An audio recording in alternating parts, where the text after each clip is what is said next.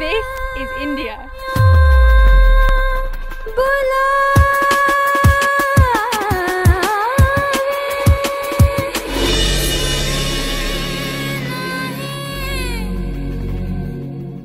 Welcome to my Indian wildlife adventure.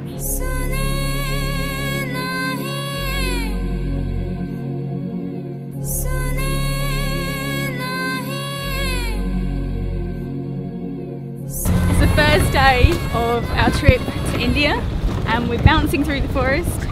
It's about quarter past six in the morning I think.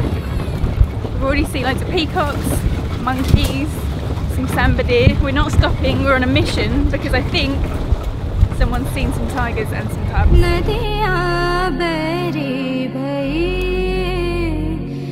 Ranthambore National Park is nearly 400 square kilometres, so seeing any of the big cats is going to be quite a challenge.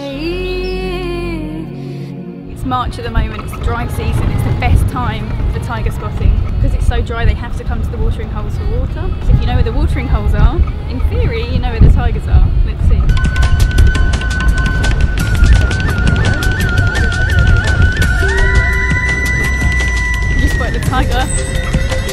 Our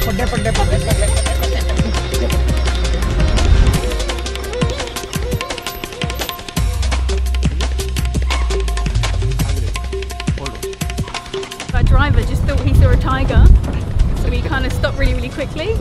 But it was actually a leopard, a female leopard.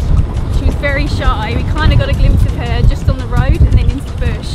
Then she was gone, but we could hear all the warning sounds from the deer, where they could obviously feel her presence and they were getting a bit scared. Just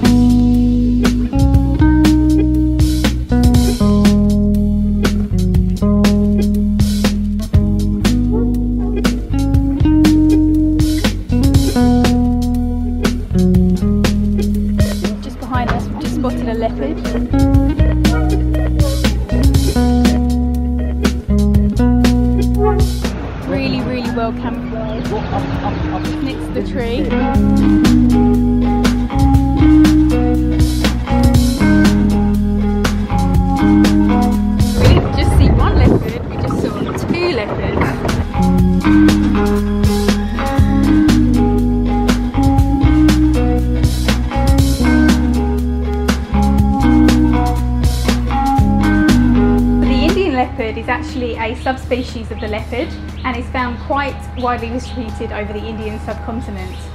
As of September 2015, there was estimated to be somewhere between 12,000 to 14,000 individuals. In this national park, there are only about 30 individuals, and considering we're seeing two, it's a pretty good ratio.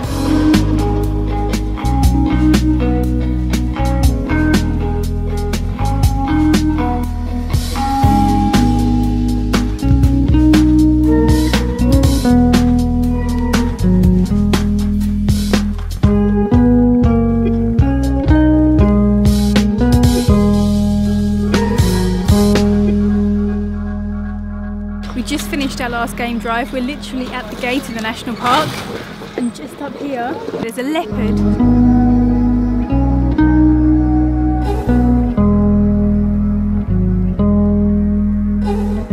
They're very shy, so it's quite unusual to see one so close and so calm.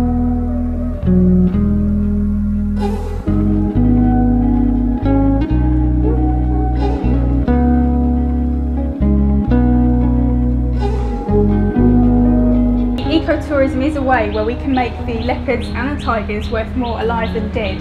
What would you rather see, a leopard or a tiger? Let me know in the comments below. I'm actually shaking. That was probably the most amazing wildlife encounter I've ever had in my life. And I've had a few. Quick, quick, quick, quick, quick, go go go.